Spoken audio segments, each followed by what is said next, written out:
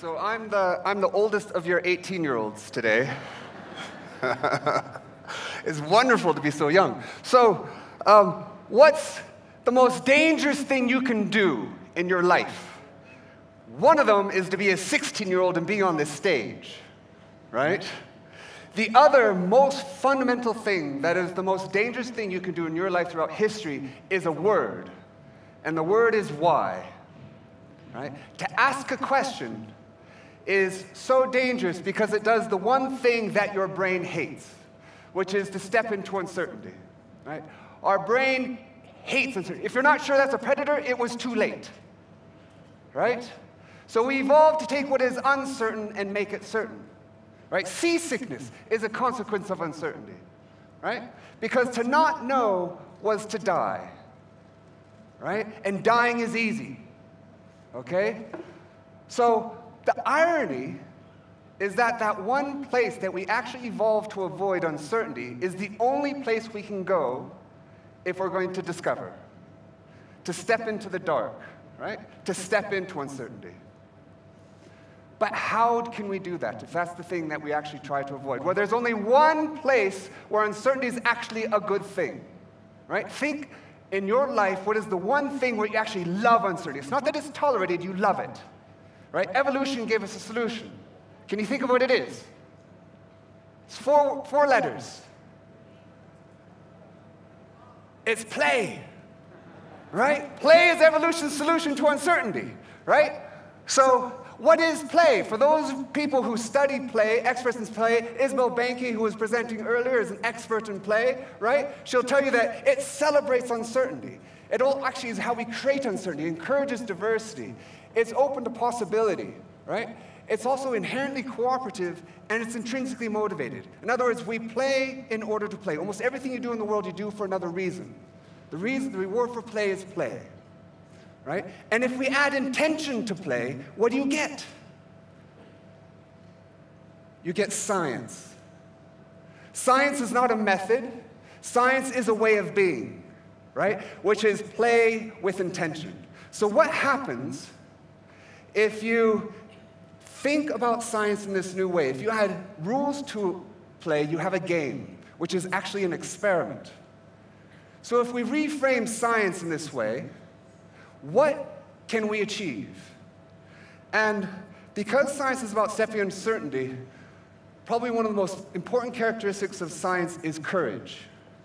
And all the young people that have come up have not come up with confidence, they've come up with courage. And that's fundamental to education. So I want to introduce someone who is now, and she and her class were the youngest published scientists in the world at 8 to 10 years old. And Amy became the youngest TED speaker when we spoke about six years ago. Okay, so she's going to tell you the story of the Blackawton Bee Project. So, Amy, can you come on up?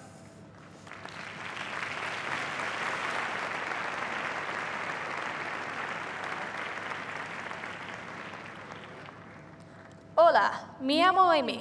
Tengo 17 años, amo las ciencias y estoy muy feliz de estar aquí hoy. Pero mi español es muy mal, so I'll continue in English.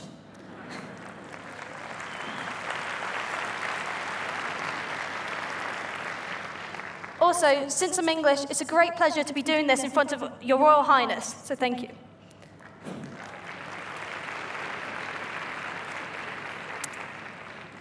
Why aren't more girls choosing to take science or STEM subjects?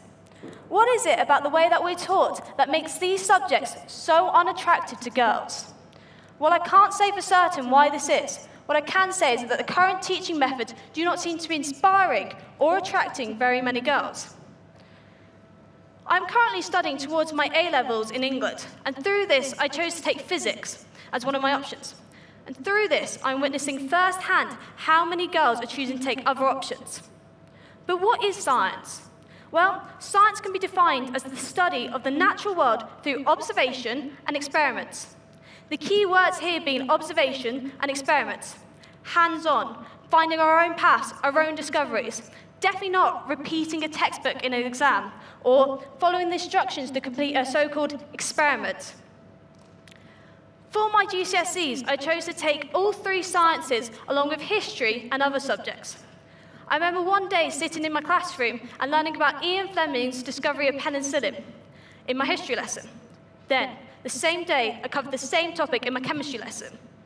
My science lessons were crossing over with my history lessons. Do we really expect future scientists to revisit historical events instead of moving forward, finding new paths, new discoveries? Science allows us to evolve. Science applies to anything innovative, and the world is constantly changing and evolving, and we need to evolve with it. So science allows us to evolve. So why are we still teaching children the same lessons we're teaching them in history? Is there a point to science if we're teaching the next generation of Mary Curies, Albert Einsteins, Rosalind Franklins history instead of allowing them to experiment and potentially discover something new? So, if I'm so uninspired by science and the way that it's taught, why do I love the subject? Well, let me introduce to you what inspired me. On the 23rd of December 2010, a paper appeared in the Royal Society journal, Biology Letters. Just a normal occurrence in the scientific world, except this one wasn't. This paper was written by 25 7 to 10 year olds.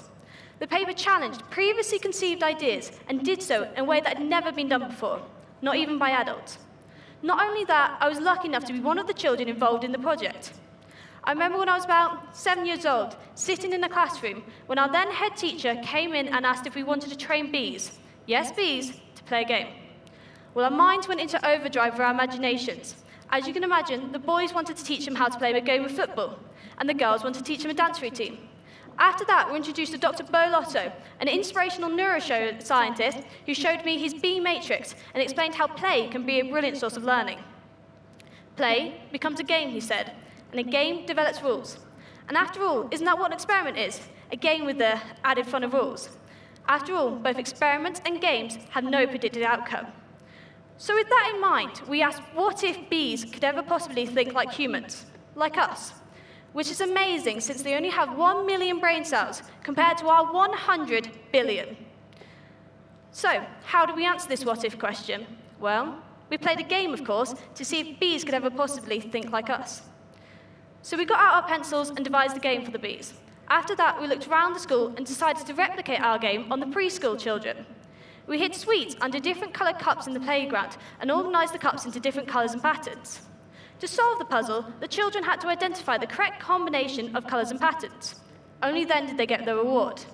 We played the exact same colour pattern game on the bees, except this time they were rewarded with a sugary solution. To solve the puzzle, the bees had to go to the yellow flowers, if the yellow flowers were surrounded by the blue, and equally if the blue flowers were surrounded by the yellow. So we played our game for a few weeks and noted all our findings. When we wrote the paper, we did so in our own way. Our story begins once upon a time. All our diagrams are drawn in wax crayon, and one line even reads, We put the bees in the fridge and made bee pie, smiley face. We were kids, it works by giving us the space and, our own, and leaving us to our own devices, both showed me that not all learning has to be done from behind a desk in a classroom. We have so much space, so many resources in our world, that given the opportunity, we can create opportunity, given the chance, we can create opportunity and excitement anywhere. So why don't we? Now, it doesn't have to be a groundbreaking experiment, though. This way of learning can be adapted to suit any task, any lesson, any subject. Let's take baking a cake, for example. Now, as a student, if I were to be given this recipe and asked to make this cake by a teacher, then I could do it easily, without having to think about what I need to do in order to make this cake. However, if we remove the recipe and let's say replace it with a picture, I now have to start thinking, right, what ingredients do I need? Obviously, I need eggs, flour, sugar, butter, cocoa powder, but how much of each ingredient do I actually need? Can you see that I'm now having to think about what I need to do in order to finish my task? This type of learning engages a student and makes them look at a subject in a completely new and exciting way. This has changed from a simple following the recipe to having to think about the steps I need to take in order to create this cake. But you probably sat there thinking, how does baking a cake help us inspire our children? Well, currently we're taught in a similar way. We're given the recipe, expected to memorize the recipe, then, write down in an exam everything we remember. In science, we're given the method of how to find the potential difference across a circuit, for example.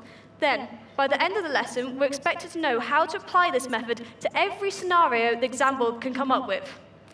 As you can see, this leaves little room for the, the student to think, why am I learning this? Or to come up with their own method to finding the solution. As Einstein said, education is not the learning of facts, but of the training of the mind to think. And isn't that what we should be taught? To think for ourselves, to find our own paths, our own solutions, to find new discoveries. Thank you.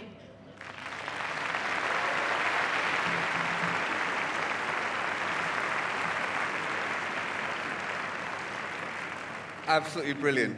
Very inspirational. So, we've actually evolved this into what we call the iScientist program, which starts with, with, has this sort of sequence to it. And the first step in teaching children about science or indeed anything is wonder. Because if you don't care, you're not going to ask a question, right? And that's the first thing we try to do when we work with, with not just young people, anyone, right? The next step is why. And I should tell you that when we tried to get funding for this project, we were rejected. Because the scientists said young people couldn't make an original contribution to science, and the teacher said it was just too difficult, right? So we did it anyway. And I should say that the questions that the children asked were actually novel, not just to themselves, but to science in general. You then start with what if? What if I do this? What if I do that? And then wow, wow is the observation, it's the discovery. And then finally, you have the who cares, which is the sharing of the observation, which becomes the wonder for the next cycle. Okay? And we can apply this to any learning system, as Amy was saying. So, who cares? Right? Well, the fact is that current education focuses on one side of innovation Innovation has two sides there's creativity and efficiency. And education focuses on the efficiency side. Why? Because so much of our businesses, our world also wants efficiency. The best environment for efficiency is competition. That's exactly the opposite you want for creativity. Right? So I'm suggesting that really, and the other problem is just consider the fact that the top 10 in demand jobs in 2010, they didn't actually exist in 2004. Right? It's not that they were there, they just weren't as popular. They weren't even present. So we're educating young people for a world that doesn't even exist yet, using technologies that don't even exist. So, really, what we should be teaching children is to have a better balance between creative and efficiency. And I'm not saying you should have just one or the other, because if a bus is coming at you, you don't want to say, oh, I wonder if there's a different way I could see this. Right? You want to get out of the way really fast, right? But we live life as if everything's a bus. And so wisdom is knowing how to move between. And in fact, that agility of thought is what we should be teaching children. And in, te- fact, teaching everybody, right? How to become adaptable. The most successful systems in nature are the most adaptable. Okay? So, I also just want to finish with um, Amy and I talked about this earlier, so you can come on up, come on up. Um, Amy was recently told that um, uh, you um, have dyslexia. Yeah. yes? Quite profoundly, right? And she's struggling in science class, right? I find this to be an incredible irony. How can someone with dyslexia struggle in a science class and yet be the youngest published scientist in the world? Right? That's an indictment of the system, not of the people.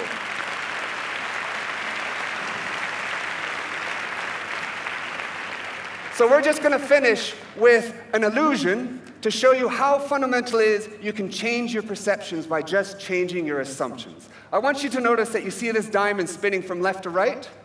Yes? Keep looking at it. And the reason is because your brain assumes you're looking down on that surface.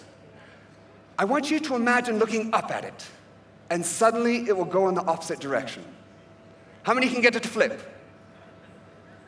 Yes? By simply changing your biases, you can fundamentally change what you see. So, I can't get it to flip. Thank you very much. I hope that Muchas was gracias. Muchas gracias. Yeah, español.